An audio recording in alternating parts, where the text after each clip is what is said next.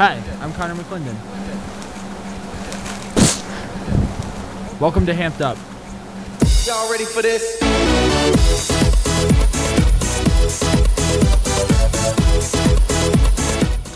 Hi, I'm Connor McClendon, and welcome to Hamped Up. This week, I spoke with NHS senior Lauren Munster and NHS sophomore Bridget Guller Slow about playing for the Longmeadow girls ice hockey team, which made it all the way to the state quarterfinals this season. So last year you were playing on a boys team at Easthampton. This year you're playing on a girls team at Longmeadow. What was that transition like for you?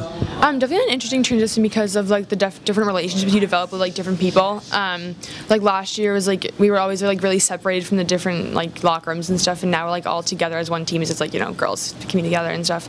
Um, so I'd say it's like a much easier like you like much easier to make relationships, or like especially like when we're all together all the time.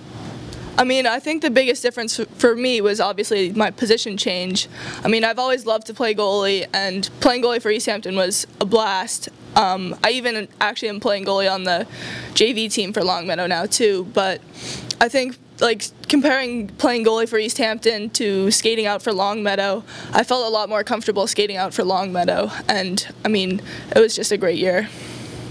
Do you wish that there was a Northampton team, or do you like being on a team that has students from a bunch of different schools? I definitely like having like a lot of different schools because I feel like it makes us bond more. Like especially like going to like like bus rides or something, or like just like being in the locker room. It forces you to talk about stuff other than school, and it like makes you like form relationships quicker. I think.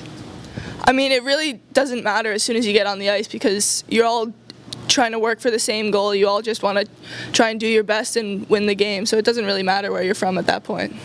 So you have to travel to Springfield for practices. You have to travel all over the state for games. Does that ever get uh, difficult uh, balancing schoolwork and travel for games? It's definitely time consuming, but um, like definitely the bus rides we use like to times like sometimes do homework, sometimes we do like other things like you know like listen to music or whatever. But it always is like makes us bond more. I guess like as I said before. You have to try and figure out how to balance your schoolwork and your sports, and sometimes you do have to miss a practice here and there. But the coaches are great and will understand that no matter what. So you guys are now in the state quarterfinals, and you came in as the number 12 seed. So that's a pretty impressive run. Do you guys like being the underdog? Um, I would say so, but also you have to take into consideration that like being the underdog, you can always like upset someone, but always someone can always also upset you. Like recently, we had like a, the 24th seed or whatever, like upset the number five seed or something like that. So it's like very you always have to like be on your toes and like be ready for like the next game ahead. All right, great. Thanks so much for being on Hamped Up. Congratulations to Nick Smith, Patrick Quinlan, Cola Valley, and Ben Gordon Sniffen, who achieved All American status at Nationals in New York this past weekend after their relay team finished sixth in their event.